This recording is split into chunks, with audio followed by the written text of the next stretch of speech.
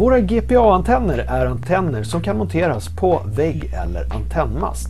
Vill du montera den på vägg så finns det fästhål på framsidan och vill du istället montera på mast, ja då medföljer det fästen i antennleveransen. Den här antennen heter GPA02 och den används framförallt med 3G och 4G-routrar. Den har då dubbla antenningångar och kan användas där man behöver tillgång till MIMO, vilket är fallet då med de flesta 3G och 4G-installationer. Den här den täcker alla 4G-band utom Net 1 och den fungerar från minus 30 upp till plus 80 grader. Den ger upp till 8 dBi förstärkning på de höga 4G-frekvenserna och 4 dBi på de låga. En lättinstallerad antenn som är lätt att ansluta till router eller modem.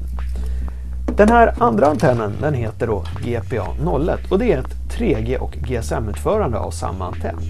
Den täcker 800 upp till 2100 MHz och den är då anpassad för GSM och 3G. Den har lite högre förstärkning än den andra antennen, den har 9 dBi. Men den kan då inte användas för 4G, i alla fall inte på de höga 4G-banden. Så ska du köra GSM 3G, rekommenderar den här GPA01. Ska du köra 3G och 4G, då är det GPA03 du ska titta på. Mer information om de här produkterna hittar du på vår hemsida www.indowireless.com eller slå oss en signal på 08 659 4300. Tack och hej!